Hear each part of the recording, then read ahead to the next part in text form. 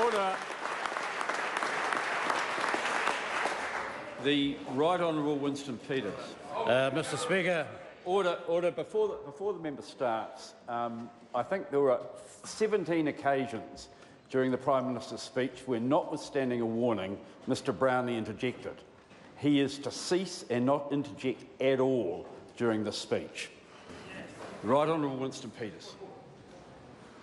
A point of order, the Right Honourable, sorry, the Honourable Gerry Brownlee. I think it'd be useful, sir, if you explain to the House what standing order you're calling on to stop a member speaking in this House. Order. I referred the member earlier and, and the, to, the, to the Speaker's ruling. I'm referring the member to the Speaker's ruling 1254. It is a long-standing one. It has been enforced by speakers in the House before. It might have been a long time since the member's been in opposition, but he should know it. And I did warn senior members on the government side of its existence earlier. I will have no further discussion of this. The Right Honourable Winston Peters. Mr. Speaker, this is about a budget building foundations. It's fact, not fiction. Real, not fake news, like someone I'm just seeing going.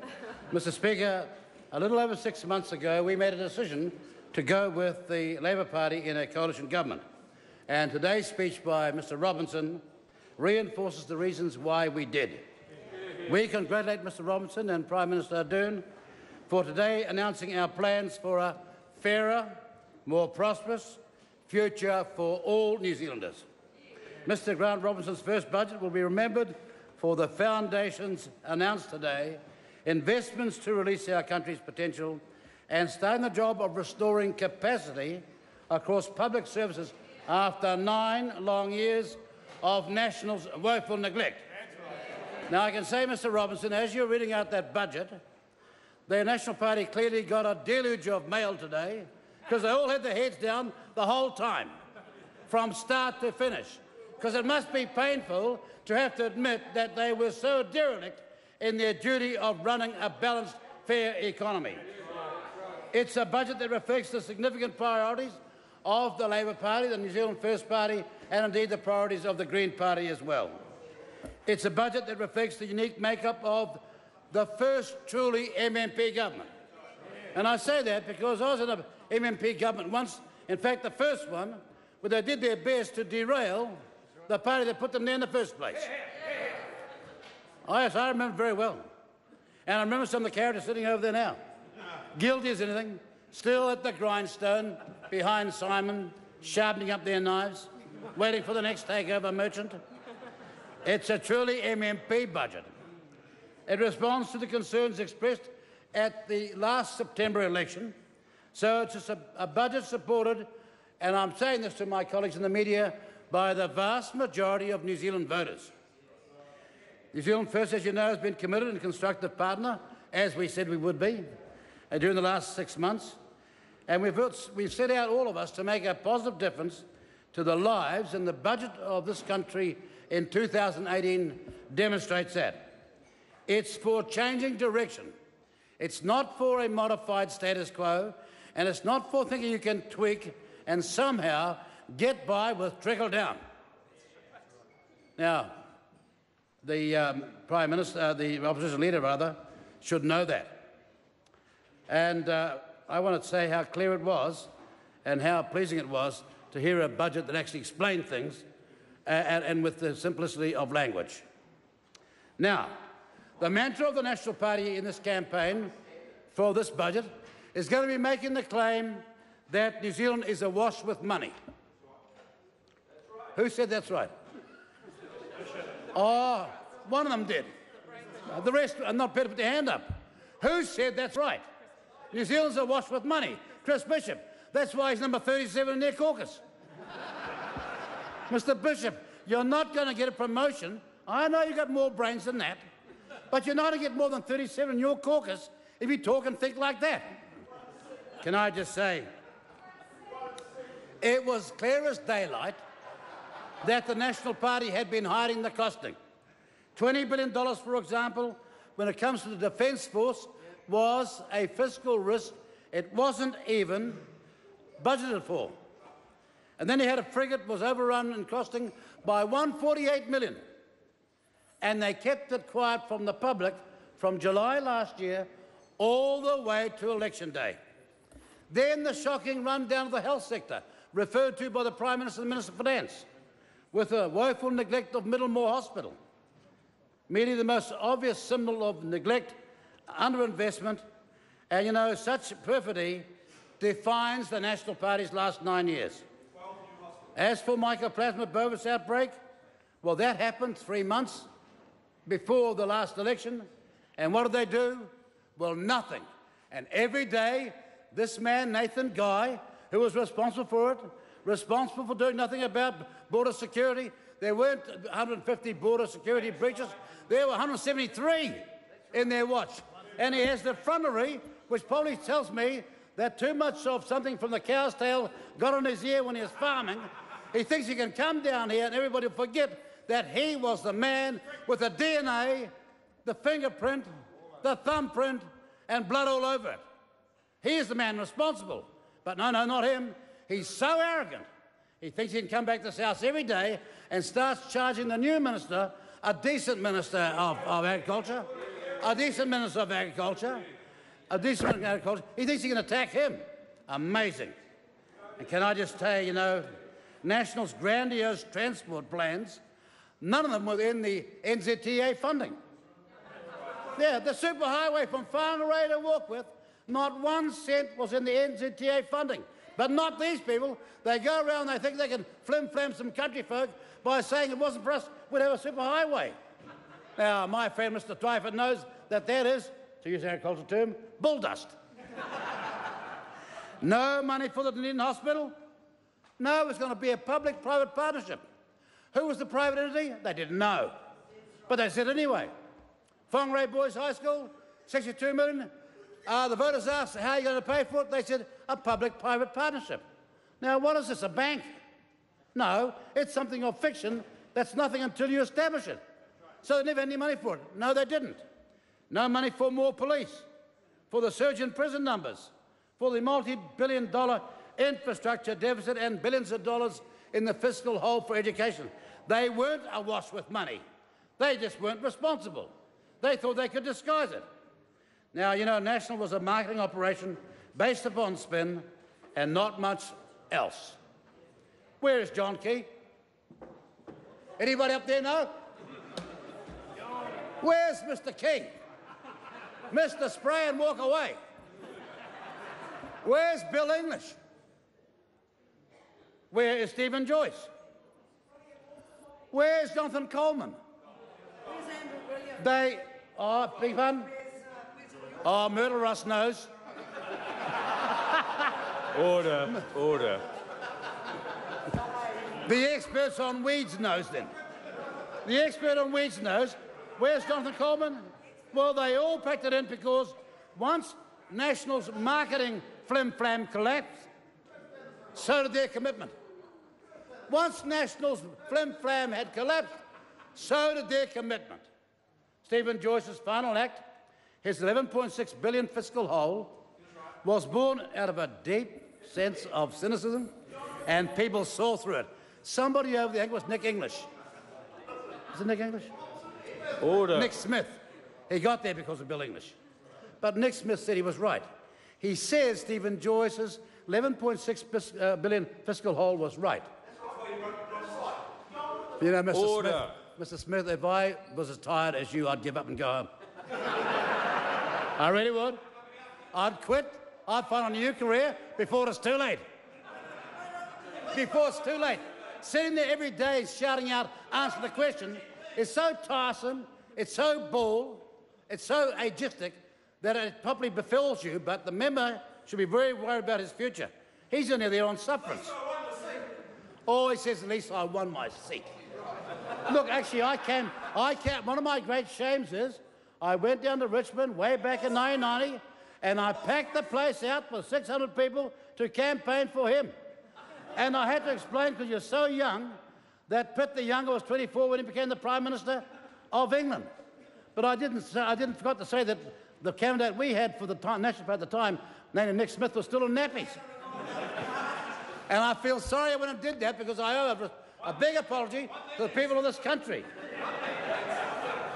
And worse is Nationals' descent into fake news, where they pretend to pour resources into areas of need when they did not, or perniciously making stuff up, up about the government's plans. It's clear we've reached a new low in our politics. Mr. Stephen Joyce had a Damascus moment of voluntary admission of how short Nationals' budgetary plans were. That can be the only reason why he came up with 11.6 billion, because they weren't spending it.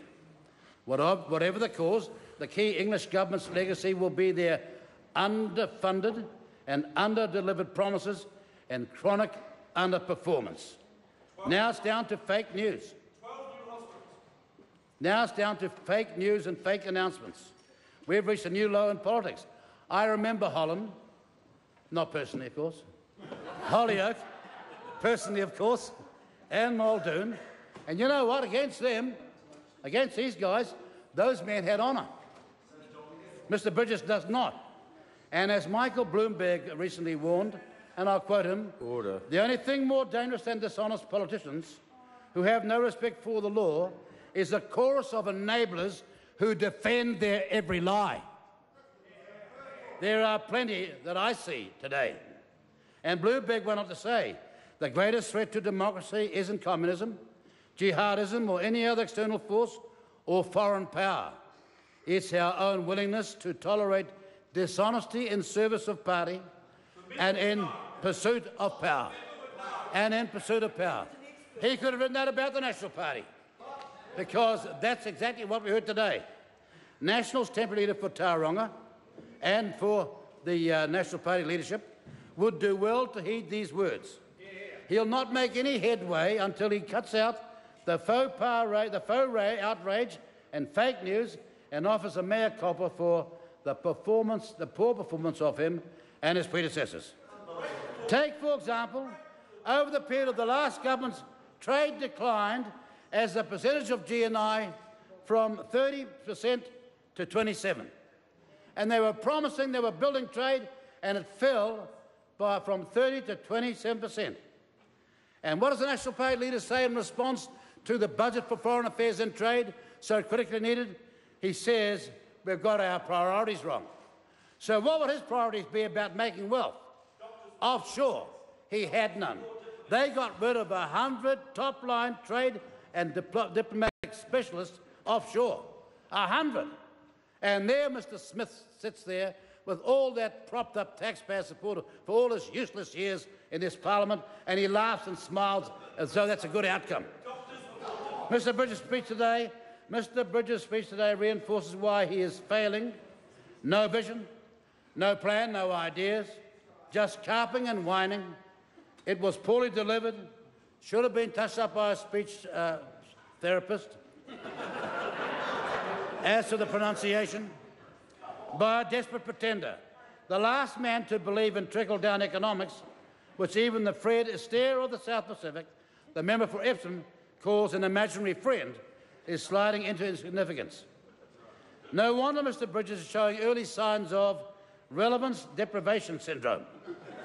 and it's a safe prediction that it'll only get worse for him because many voters, many more voters dislike his leadership as those who merely tolerate him.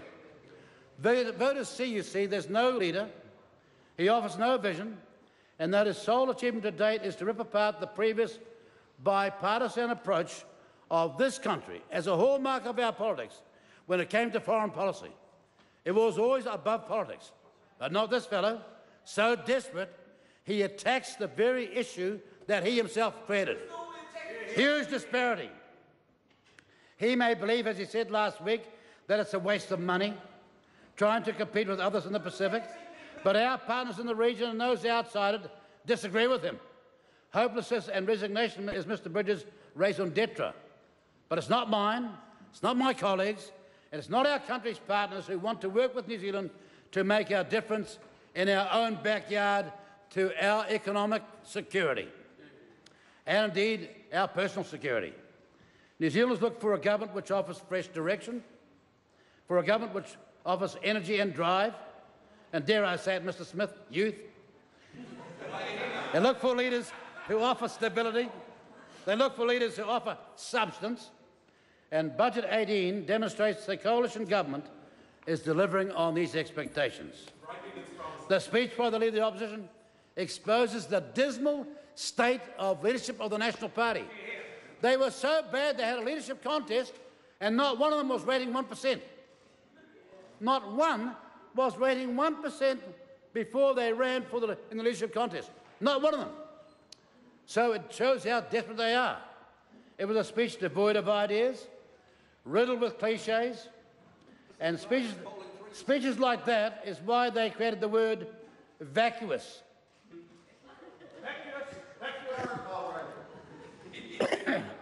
uh, uh, let me let me tell you, let me tell you, sunshine. I'm here. I'm here after all these years because we know how to get a poll up. But not that failure. Not that member there. He's, he was a minister for three months. Back to the back bench. He'll never be back, back, back again.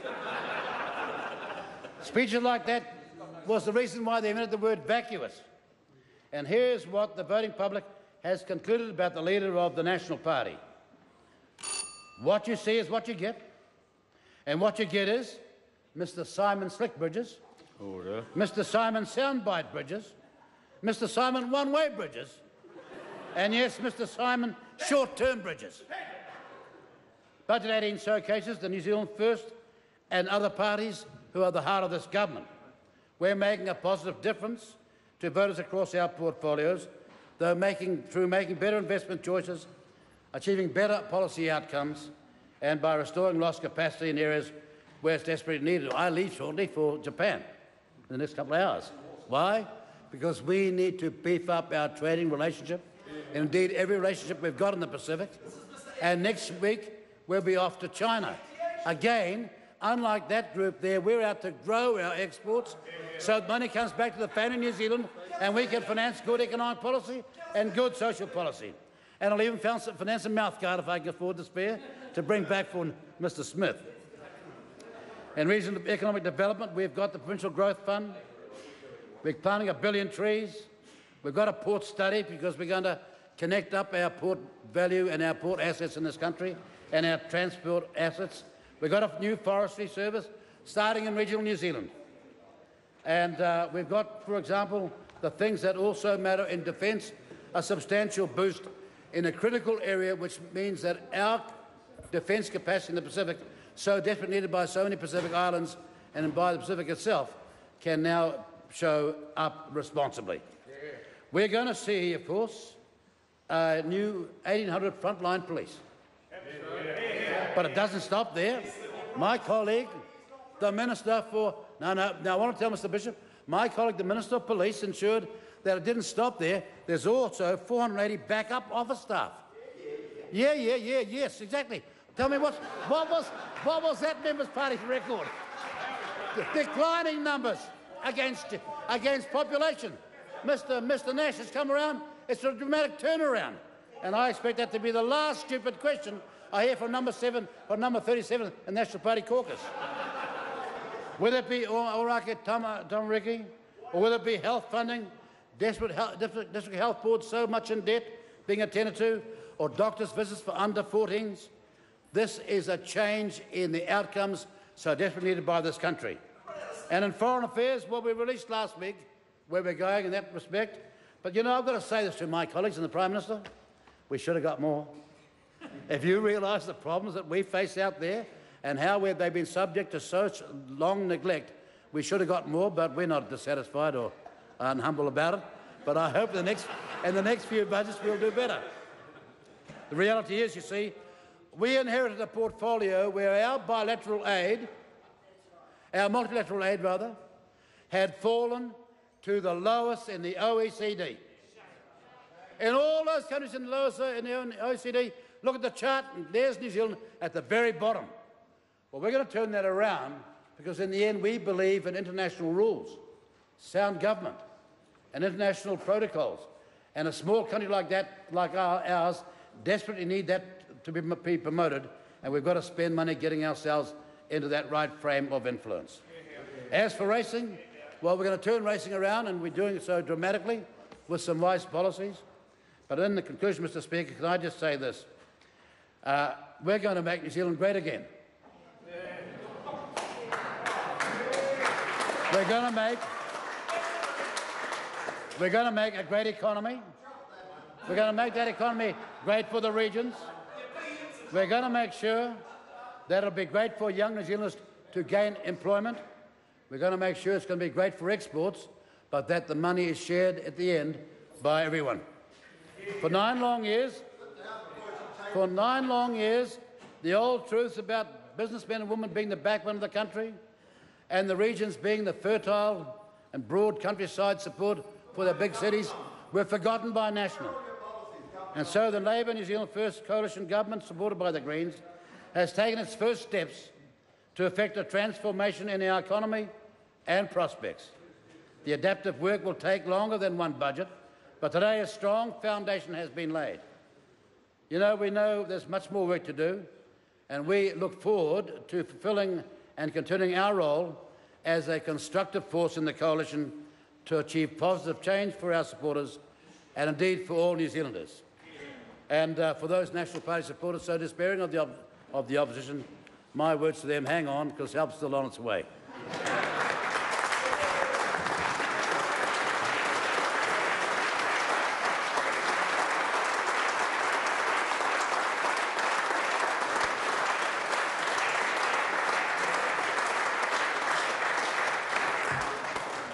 The Honourable James Shaw. E te manga